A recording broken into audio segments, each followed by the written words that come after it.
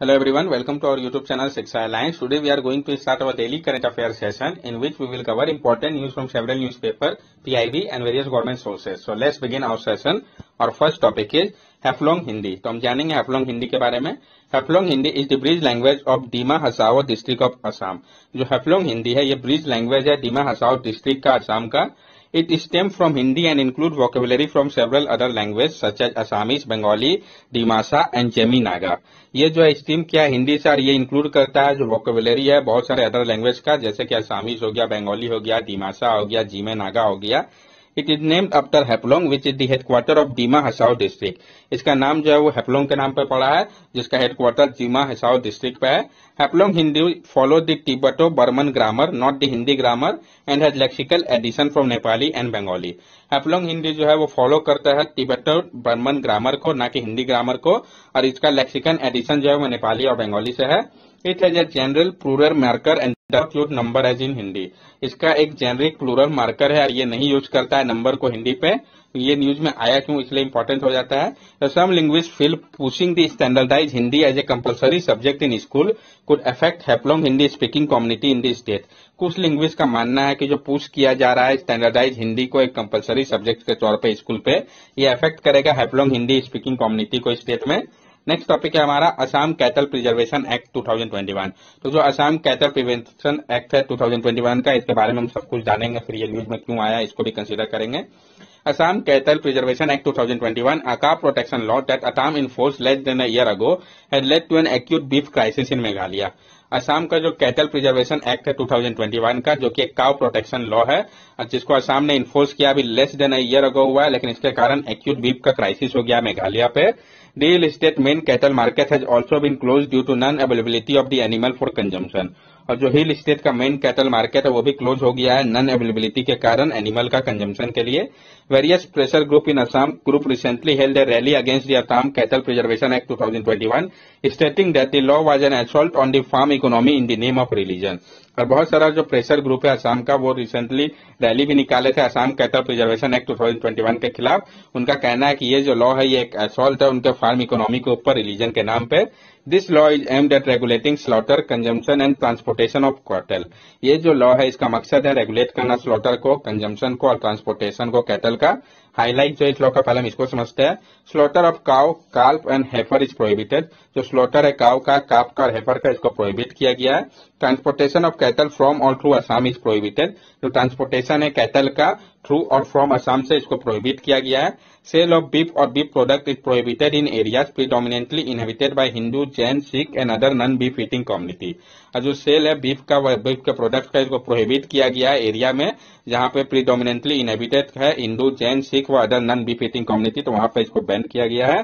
Cell of beef और beef product is prohibited within a five kilometer radius of any temple Satra और other Hindu religious institution जो sale है beef या beef के product को, इसका प्रोहिबिट किया गया इसको फाइव किलोमीटर के रेडियस में किसी भी टेंपल सत्र या अदर हिंदू रिलीजियस इंस्टीट्यूशन के punishment under the Assam cattle preservation act 2021 for violation जो पनिशमेंट इसके अंदर रखा गया है असम कैटल प्रिजर्वेशन एक्ट 2021 के अंतर्गत इसके वायलेशन को लेकर those found violating the rule shall be punishable with imprisonment for a term not less than three year and up to eight year और a fine that may be vary between rupees three lakh to rupees five lakh और both If someone convicted is found guilty of the same or a related offence second time, the punishment will be double.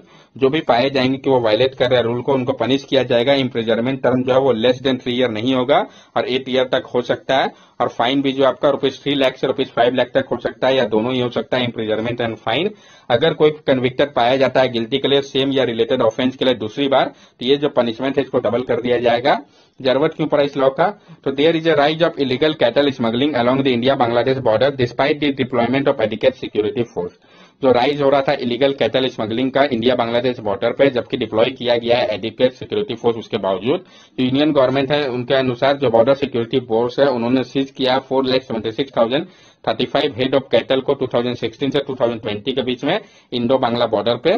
Controversial provision व criticism surrounding the law जो controversial provision है, वह जो criticism जो कि surround करा इस law को the law completely prohibit cow slaughter irrespective of any provision ये जो लॉ है, ये पूरी तरीके से प्रोहिबिट करता है काउ स्लॉटर को, किसी भी प्रोविज़न को इरेस्पेक्टिव ध्यान में रखते हुए it prohibit the sale of beef and beef product within a radius of 5 km from any temple.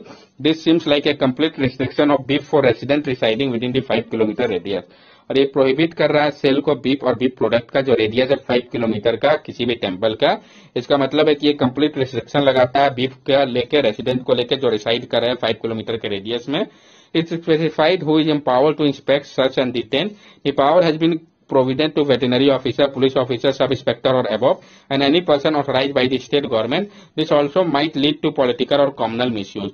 और ये स्पेसिफाई करा है कि ये जो है पावर करता है इंस्पेक्ट करने का सर्च करने का डिटेन करने का जो पावर है, ये दिया गया है veterinary officer police officer sub inspector या उससे अबव रैंक के ऑफिसर को, या कोई भी पर्सन जिसको ऑथोराइज किया गया हो स्टेट गवर्नमेंट के द्वारा, इसका जो है पॉलिटिकल या कॉमनल मिसयूज भी हो सकता है। ये जो पनिशमेंट और फाइन जो कि प्रोवाइड किया गया है, इसके अंतर्गत वो काफ़ी एक्सट्रीम है। इस टाइप का जो पनिशमेंट है, वो दिया जाता है सीरियस ऑफेंडर को इंडियन पेनल कोड 1860 के अंतर्गत। बैकग्राउंड को हम समझते हैं। तो असम जो है, वो शेयर करता है 263 किलोमीटर बॉर्डर को बांग्लादेश के साथ। इसमें 143.9 किलोमीटर जो है, वो लैंड के साथ है एंड 119.1 किलोमीटर जो है है वो रिवराइन है चैलेंजेस क्या है? तीन Assam there are many exit point along the porous India Bangladesh border that facilitate the illicit cattle smuggling Assam में बहुत सारा एग्जिट पॉइंट है पोरस इंडिया बांग्लादेश बॉर्डर को लेके, जो कि फैसिलिटेट कर रहा है इस टाइप के इलिसिट कैटल स्मगलिंग को। जो स्मगलिंग है ये हो रहा है वेस्ट बंगाल और मेघालय में, जो कि शेयर कर रहे हैं बॉर्डर को बांग्लादेश के साथ। A couple of year ago तो BSF identified sixty five cattle corridor along the border and recommended certain measure to stop cattle smuggling और couple of year ago BSF ने आइडेंटिफाई किया था 65 कैटल कॉरिडोर को border के पास, और उन्होंने recommend किया था कुछ मेजर्स को स्टॉप करने के लिए कैटल स्मगलिंग को। Local police official in Assam often claim that the law does not allow them to stop someone from transporting cattle to another state if arrested the smuggler can claim that this are personal cattle local police official का मानना है कि असम का कि ये जो law है, वो नहीं अलाउ कर रहा है, किसी को रोकता है ट्रांसपोर्ट करने से कैटल को दूसरे स्टेट में। अगर वो अरेस्ट होता है तो स्मगलर है, वो क्लेम करता है कि ये जो है, उनका पर्सनल कैटल है। नेक्स्ट टॉपिक है हमारा highlight of the national family health survey five part two जो हाईलाइट है national family health survey five का, जो पार्ट सेकंड इसको हम जानेंगे। पार्ट वन को पहले ही हम लोगों ने कंसीडर कर रखा है। The total fertility rate the average number of children per women has further decline from 2.2 to 2.0 at the national level between national family health survey 4 and 5 जो टोटल फर्टिलिटी रेट है, जो एवरेज नंबर ऑफ़ चिल्ड्रन है पर women का, वो further decline किया है। 2.2 से अब ये 2.0 हो चुका है नेशनल लेवल पे national family health survey 4 and 5 के दौरान। तो हम जानेंगे जो नेशनल फैमिली हेल्थ सर्वे है। National family health survey is a large scale multi round survey conducted in a representative sample of household throughout India जो national family health survey है, ये एक large scale multi round survey है, जिसको conduct किया गया है, एक representative sample of household के तौर पर पूरे भारत के लिए। ये जो आईआईपीएस है, वो नोडल एजेंसी है, जो कि रिस्पॉन्सिबल है प्रोवाइड करने के लिए कोऑर्डिनेशन को और टेक्निकल गाइडेंस को नेशनल फैमिली हेल्थ सर्वे के लिए। NFSS was funded by the United States Agency for International Development with supplementary support from United Nations Children Fund. और इसको फंड किया जा रहा है United States agency for international development और supplementary support from United Nation children fund के द्वारा the first national family health survey was conducted in 1992-93 जो पहला नेशनल फैमिली हेल्थ सर्वे था, इसको कंडक्ट किया गया था 1992-93 पे. ऑब्जेक्टिव इसका क्या है? ये जो सर्वे है, ये प्रोवाइड करता है स्टेट और नेशनल इन्फॉर्मेशन इंडिया का फर्टिलिटी को लेके इन्फेंट एंड चाइल्ड मोर्टेलिटी के बारे में बताता है, जो प्रैक्टिस है family planning maternal and child health reproductive health nutrition anaemia utilisation and quality of health and family planning service इस सब के बारे में ये बताता है। Modification of national family health survey five क्या मॉडिफिकेशन किया गया है national family health survey five में? तो national family health survey five include new focal area that will give requisite input for strengthening existing programme and involving new strategy for policy intervention जो national family health survey five है, ये include कर रहा है नए focal area को जो कि रिक्वेसाइट इनपुट दे रहा है ताकि स्ट्रेंथन किया जा सके एग्जिस्टिंग प्रोग्राम को और इवॉल्व किया जा सके न्यू स्ट्रेटेजी को पॉलिसी इंटरवेंशन के लिए। वो एरियाज़ क्या है? तो expanded domain of child immunisation यानी एक्सपेंड करने की बात कही गई है, जो डोमेन है चाइल्ड इम्यूनाइजेशन का कॉम्पोनेंट माइक्रो न्यूट्रिय चिल्ड्रन के लिए। मेंस्ट्रुअल हाइजीन की बात कही गई है। Frequency of alcohol and tobacco use additional component of non communicable diseases expanded age range for measuring hypertension and diabetes among all age 15 year and above जो highlight है national family health survey five का पाँच second का, उसको हम देखते हैं।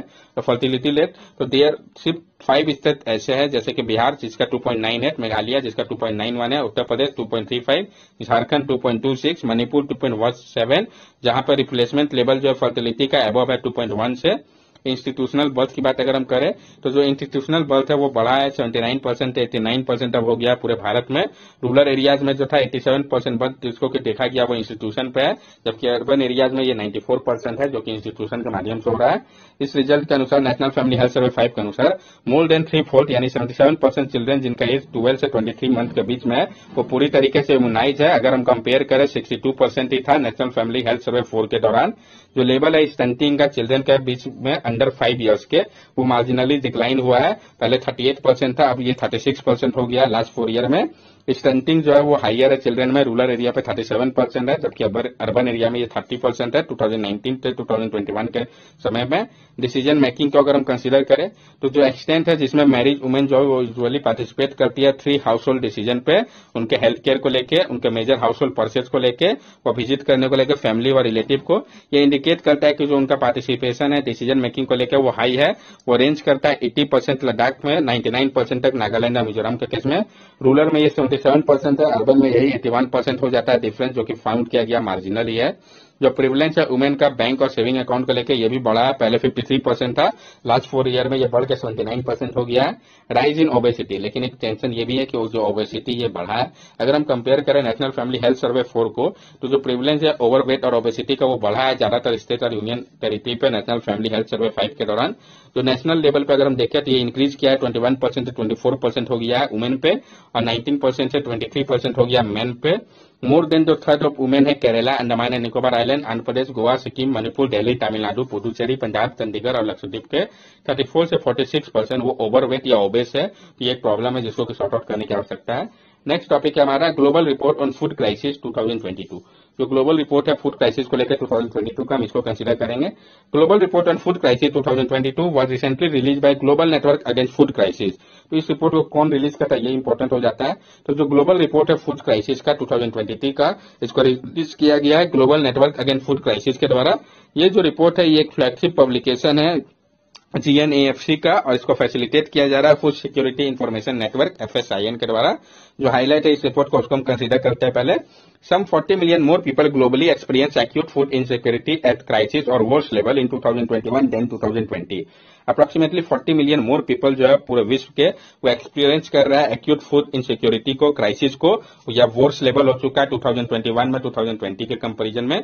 Over half a million Ethiopians south Madagascar south Sudanese and Yemenis are suffering from acute food insecurity और जो आधे मिलियन उससे अधिक Ethiopian southern Madagascar south Sudanese Yemenis जो है वो सफ़र कर रहे हैं एक्यूट फ़ूड इनसिक्योरिटी को लेकर Over 193 million people in 53 countries or territory experience acute food insecurity at crisis or worse level in 2021.